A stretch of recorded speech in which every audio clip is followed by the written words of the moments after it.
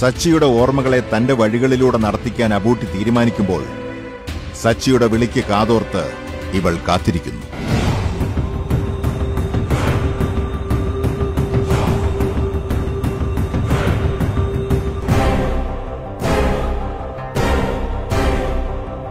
മലയാളി ഹൃദയങ്ങളിൽ മുറിപ്പാടായി മാറിയ ഒരു യഥാർത്ഥ സംഭവ കഥയുടെ ദൃശ്യാവിഷ്കാരം. കെ കെ രാജീവിന്റെ അന്ന കരീന. ഇന്ന് വൈകുന്നേരം ആറ് മുപ്പതിന് ഫ്ലവേഴ്സിൽ.